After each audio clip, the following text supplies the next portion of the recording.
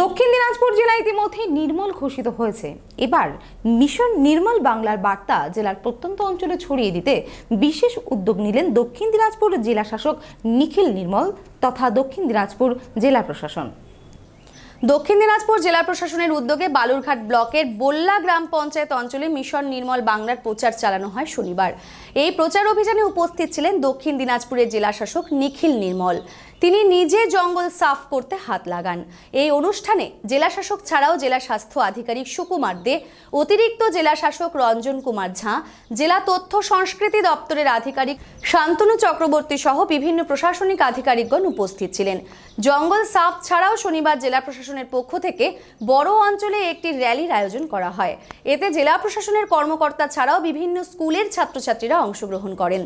Mission নির্মল বাংলার বার্তা জেলার প্রত্যন্ত প্রান্তে ছড়িয়ে দিতে জেলা প্রশাসনের এই উদ্যোগকে সাধুবাদ জানিয়েছে জেলার সাধারণ মানুষ।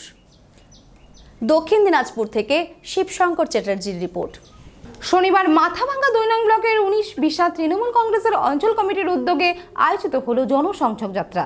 এই জনসংযোগ যাত্রায় উপস্থিত ছিলেন মন্ত্রী বিনয় কৃষ্ণ বর্মন। জনসংযোগ যাত্রাকে ঘিরে প্রচুর পুলিশ মোতায়েন করা হয়েছিল। সামনে পুলিশ, পেছনে পুলিশ, তারই মাঝে এদিন চলে এই মিছিল।